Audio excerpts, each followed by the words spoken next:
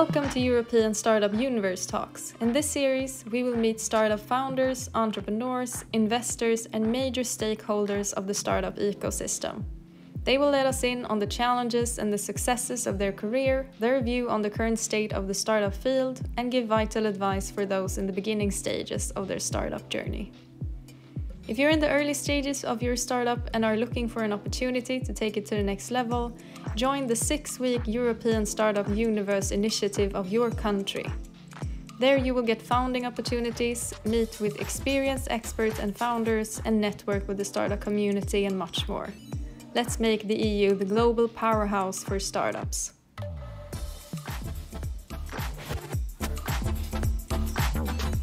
Welcome to European Startup Universe Talks. I'm Mauritza and I'm here with Juan. You are the country organizer for Spain and you have a long history, a long experience in the startup field.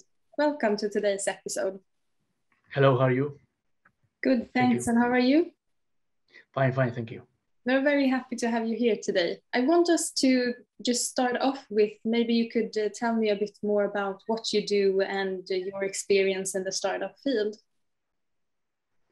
Yes, I have worked with with startups uh, for many years, maybe I don't know, uh, more than 15 years, something something like that, in different fields, especially in technology.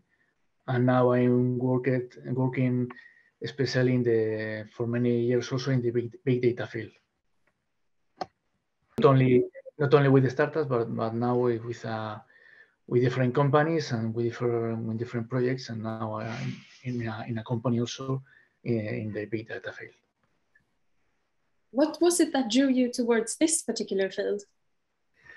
Well, uh, firstly, uh, I always loved the startups and technology and especially the way startups uh, uh, the last years are, are uh, beginning to to make a um, big change in terms of, of, of, of, employment or creativity and so on.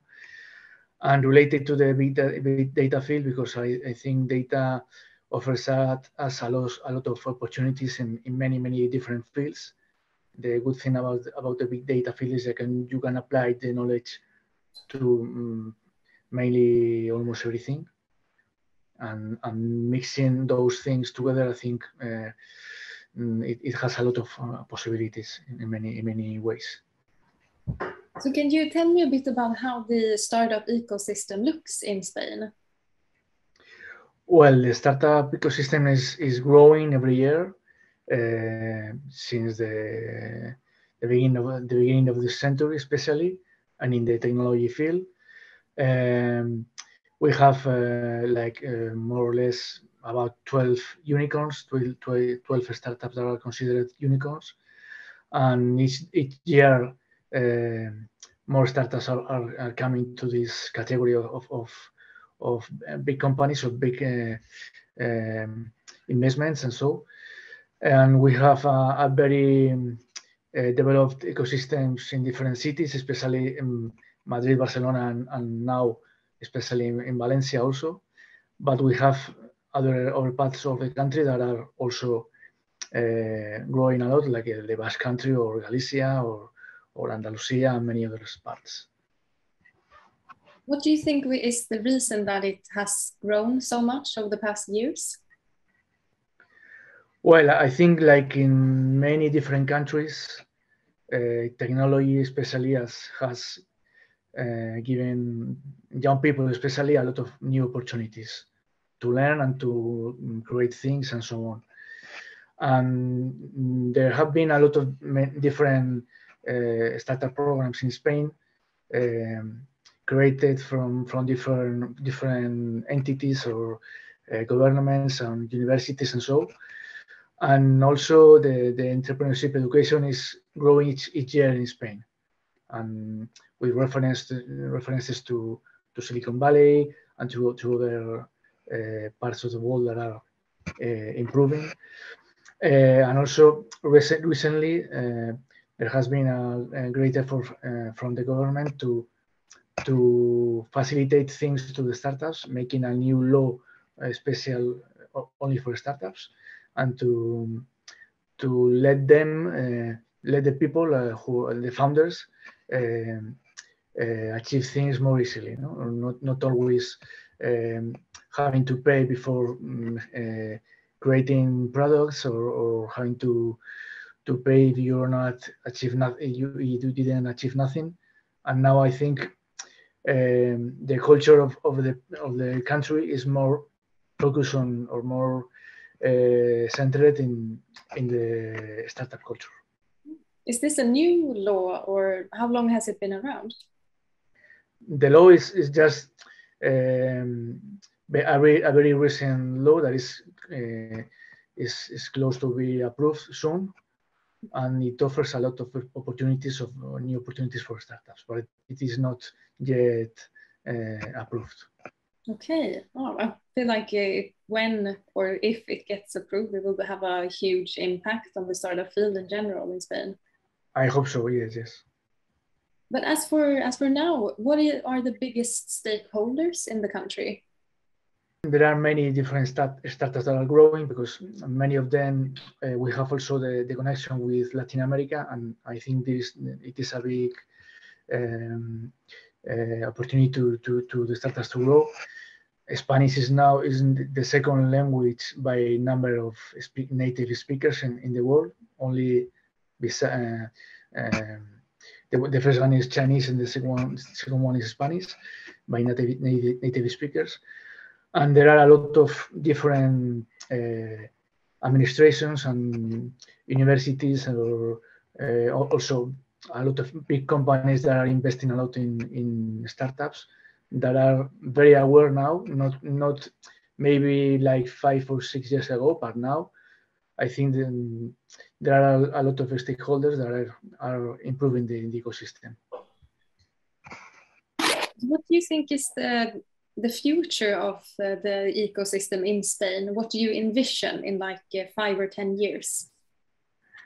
Well, um, the first thing I, I, think is that there is no really an like a nation ecosystem. The ecosystems are, as I told you before, the ecosystems are in, in big cities like Barcelona or Madrid or Valencia, but we need to to connect every little opportunity or every little ecosystem inside Spain to to make possible that every startup uh, could achieve or could, could, have the same opportunities in in the whole country. Now, uh, and this is one of the biggest challenges now. Um, the other one is always investment because uh, startups need, need, need, they need funding, and it's some some is something that is not always um, easy for the startups. So these these two things, and always uh, we have always to to keep uh, giving uh, education for the startups to to grow and so on. But these are the, the main challenges now. For the uh, the ESU program from Spain, can you tell me a bit more what that will contain of? one of the the needs of Spain is to to uh, foster the, the nation ecosystem and also to connect it to the rest of, of Europe.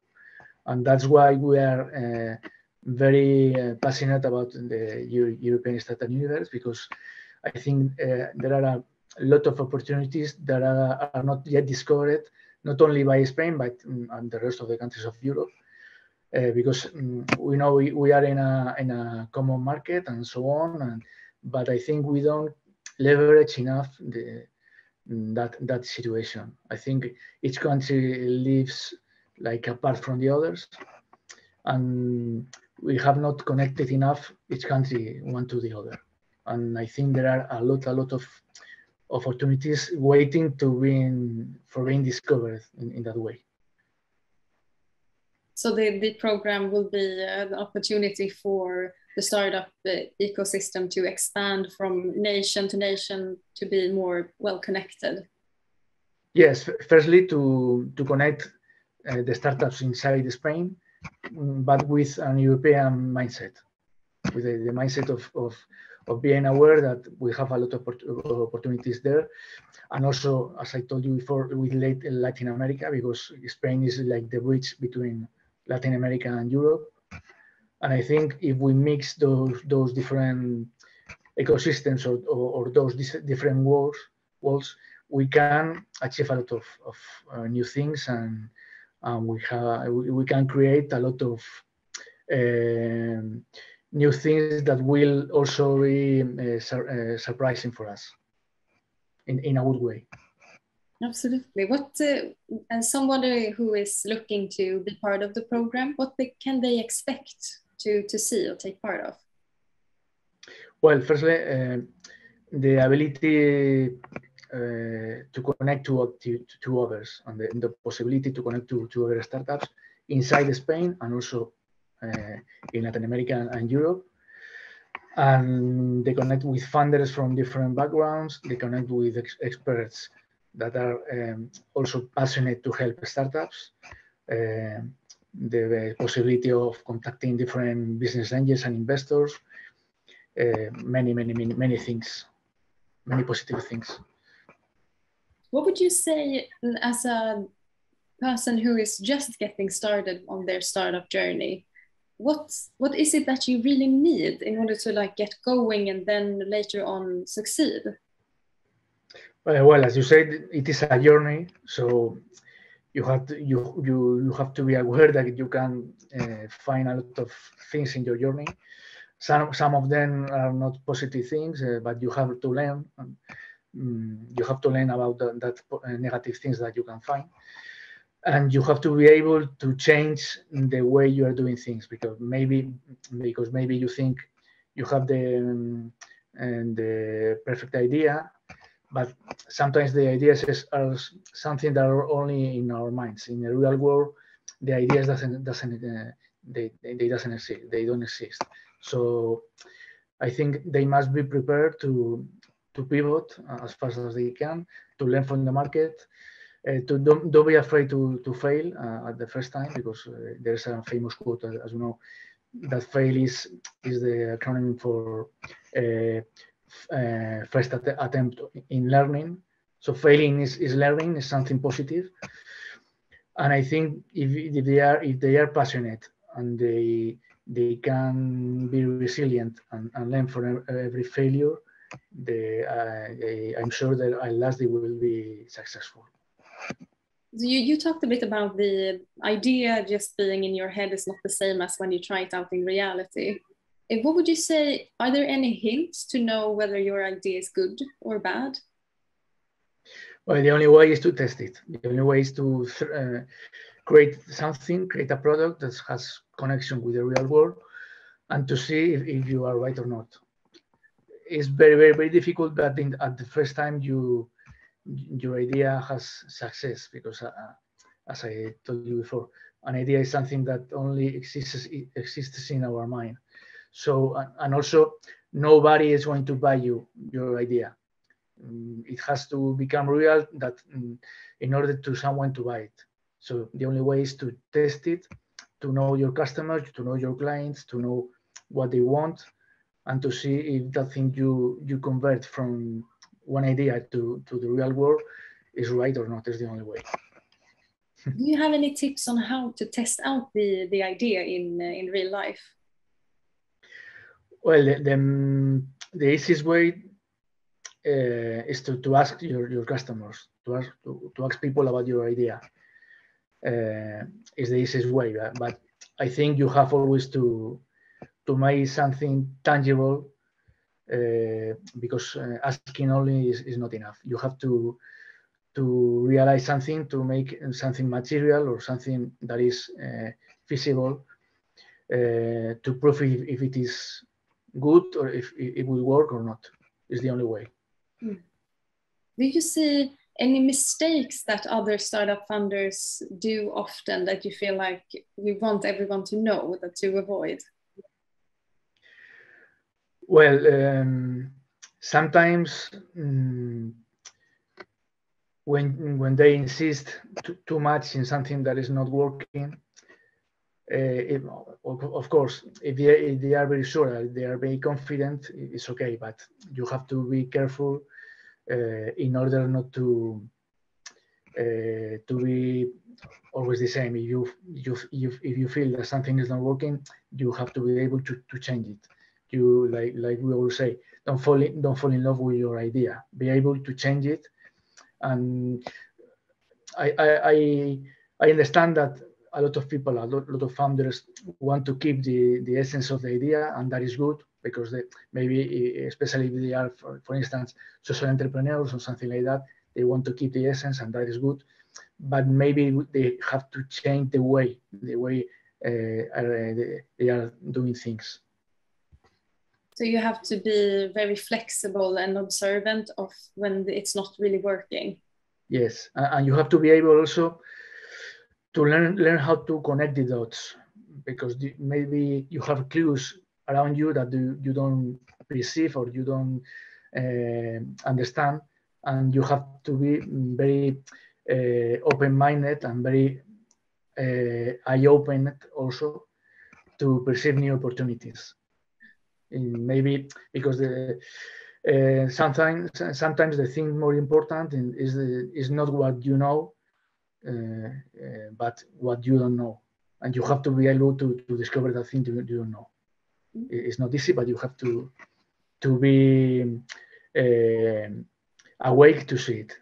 Yeah, absolutely. And I feel like it's so vital to be, as you're saying, to to make sure that uh, you're really staying observant and really when something isn't working you have to just accept accept the yes fact. and maybe maybe you thought maybe that's something something you thought that wasn't important is the key to to have a solution so don't don't think that something is not uh, uh, good enough or don't think that something is very simple to apply it because every little, little thing can be a change maker mm. in, in your project. So the artist, the, I think the, the key sometimes is to um, uh, know how to connect different opportunities and different dots and to bring something new, mixing different different ways of doing things have you seen have you an example in uh, either in your own experience or in startups that you've seen that when they have really managed to observe that something isn't working and then stirred it in the right direction?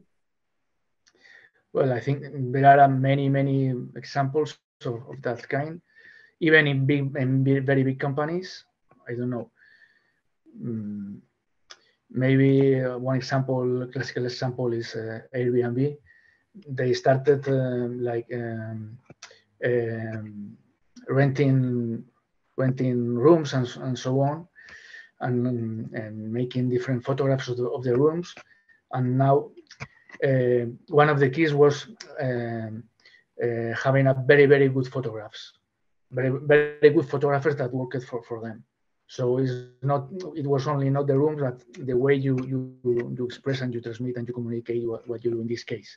Of course there are many there were in this case of Airbnb many other things that were important, but in this case, it's always said that uh, having good photographers was one of the of the keys to to to make grow the the business. And I don't know.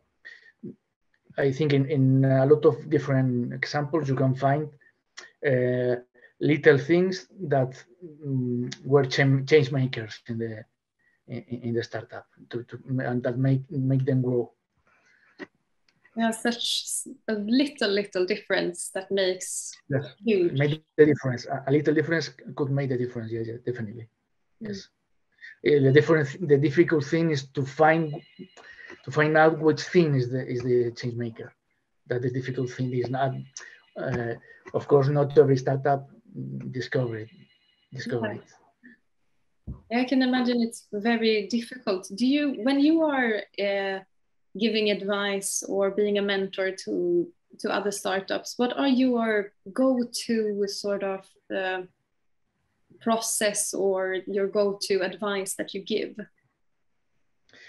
Of course, I, I am a very um, big fan of the lean startup methodology that always focus on the on the customer So you have to focus on the on the customer. Uh, you have to to to achieve uh, what is called the product market fit. To, you have to align the, the, the, your value proposition of your of your startup or your product to the, uh, the, the thing your customer needs or wants. That's the key always. That's the, that's the first first stone where to start. Mm. And, and after that, of course, there are many many details that you you have to be careful about. But the first step is always that. What what are the the other details that you have to be observant about?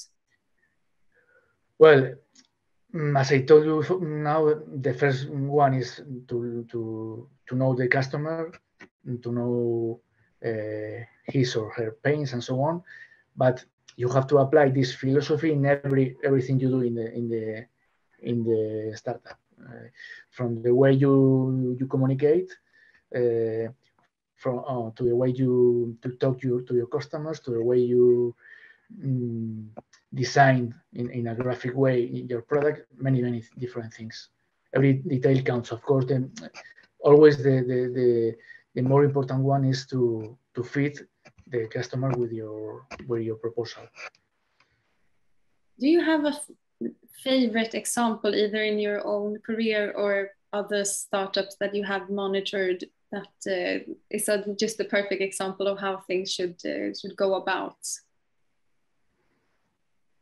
Well, I have uh, the the thing I I value more is that the startups that succeed, they don't succeed at, at, at the first time. They, they have to learn a lot of things. They have to pivot and I always I am always very happy when I see startups that I have worked with that they make different pivoting, different different pivots, and they uh, uh, at last succeed. But, but because that is the only way. Uh, for instance, I, I don't know. Uh, I, I, remember one startup that was was starting uh, offering services with with robots and with education for children and so on and that didn't work it quite well and they changed it and they pivot and they, they changed uh, to, to applying the, the work of the robots to, to industri industries, for instance. So you never know, you can, you have to change different components of your project to make it uh, successful. You have to, to, to stay, test everything, change the customer, change the, the tools you are, you are using, or change maybe also the, the business model, of course, you have you can change a lot of things just to test and to see which is the one the, the, the best one. So you you have to fail in order to to succeed. Yes, yes, you have to fail, but uh, I like to say that fail is that is, is the acronym of uh, first at uh, first attempt in, in, learning. It's always the first attempt in learning. You have to learn because you're in a startup. You are looking for a new business model, you have to find it and you, you know uh, almost nothing. Your idea is the, your starting point, but you have to be aware that this only the starting point. You you can finish in many, uh, any other part of the of, of the of the world or of any any any other part of of the business that you you weren't aware of, and also. Um, uh, you don't you don't have to be afraid to fail because it's, it's, it's the only, only way to learn. Is that an advice that you often give to uh, to people talking to you about when things are not working really for them? Yes, because sometimes when the, the startups um, have a lot of passion about what they do, and if it doesn't work, they they get disappointed. That my, but I think they they must uh, focus it like a, with a reframing and frame it like uh, uh, that is only, only a thing that they have learned that they, they didn't know. There is no failure. There is only a, a thing that you have uh, realized that you have to do, and you you are, you you now not a, another uh, new thing that you didn't know, and you know what what thing uh, you don't have to do, and try another, another one. Is there a particular within the startup field a branch within it that is your particularly favorite one? Well, I think if I had to choose, because you know, um, uh, you can study a lot of things in technology, you can have a lot of experience, but if I had to choose something, only one thing, it's not the the knowledge you have, it's not the studies you have, it's not the experience. I, I think for me the more important thing is creativity, the the, the spirit of, of being creative, of like I said before, the spirit of uh, the aim to to connect the dots of everything that surrounds you, the creative and to make creative things with, with that, because with that thing, without that thing, yes, you, you, you could be successful only with if you are a very, very good at technology or if you have a lot of experience. But if you have creativity, it is the the key for for many many many things. Okay, well, that's very yeah, creativity, and creativity uh, is especially an attitude. I, for me, it's an attitude, the attitude of being creative. It's, it's not something of course, maybe there are people that are is more creative by nature than, than others, but it's something also that you, you can cultivate that you can uh, potentiate in, your, in yourself, an attitude that you, that you, that you can you can fit and, and to make it uh, bigger each day. So it's a sort of a skill to uh, to develop over time. Yes, it's a skill. is is um, uh, it's a custom also it's something that, that, you have to be used to to be uh, every day of, of your life being able to to to be creative. And to to be creative when, with the with um, the little or uh, resources you have no matter if you have a lot of resources or, or many resources with the resources you have you, ha you have to learn to be creative with that so if you don't have a lot of resources, you can anyways have uh, faith and hope and still get going. It's not just limited to. Yes, I, I, at least you, you have to have that. Uh, sometimes it's difficult, but I think it's, it's a, I think that uh, that every every founder needs. Yes, of course, technology and funding and so on, uh, it helps a lot also but creativity is the, is like the engine of the of the process. That's a very very nice uh, way to put it and i feel like uh, can give a bit of hope because sometimes the focus is a lot of on the funding and uh, other things that are maybe sometimes out of your own control. Yes and the funding it depends but because you have you can have a very good company without funding in some cases, and in other cases, mm, you will you will need it. It depends. But uh, you have, I think, you don't have to focus on, on, on, funding when you start. When you start, you have to to focus on on making uh, a product or on especially and, and, in solving a problem that someone has, and, and giving a very good solution. And after that, you will see if you need funding or not. Of course, of course, funding is always needed but you can you cannot start thinking about funding. You can you have to start thinking about solving problems of, about offering value to, to someone. Maybe it is an, a, a person or many many uh, persons or, or, companies but something that has value. Okay. So how do you uh, when you're looking for to get funding how do you do you have any tips on how to approach the the potential investors well, firstly, don't look for funding if you don't have customers. First, you have to have customers uh, because it's the way to to prove that mm, the way the thing you are doing is is something that mm, someone wants. Uh, if you go to uh, to to an investor and to ask for funding, but only with one idea and with no customers, there's it, it will be very, very difficult that someone invest, uh, invest on you. You have to have customers, you have to prove your, that your idea, that your startup, that your project uh, worth it. And it, that is the only way that to make it, make it real, make it um, uh, something that people want. Mm. And, uh, and you can convince an investor uh, to scale your startup uh, starting at this point only. Okay. Well, that's uh, that's very good uh, good advice to just having to be having a more grounds to stand on, so to speak, before really thinking that you can uh, yeah. approach investors. And also, there's a very famous quote by Paul Graham, the, the founder of Y Combinator, that says, uh, "Do things that don't scale." So when you begin, don't be obsessed, don't be worried uh, about um, scaling or about funding. Do things that, that do things that don't scale. Uh, it means that you have to uh, to be in the real world, to, to treat with a, a, little amount of customers, maybe, because it's the way that you're going to learn the, the, the most. That's a very nice way to uh, to wrap it all up. But before we, we do that, is there anything you would like to add?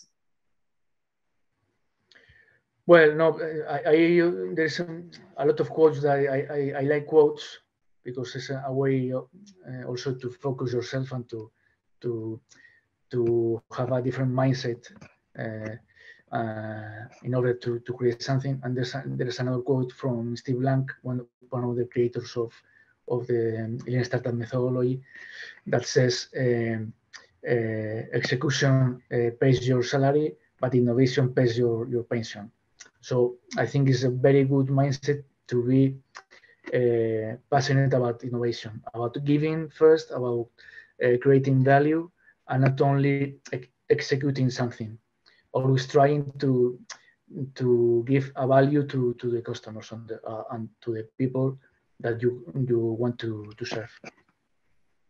That's great yeah thank you thank you very much for for talking to me today and thank you so much for giving all the insight and the advice and uh, the good quotes you're welcome thank you to you to join the six week program, register on the website until the 28th of February. Go to thestartupuniverse.org. Make sure to follow us on social media on Instagram, Facebook, Twitter, LinkedIn, and on TikTok.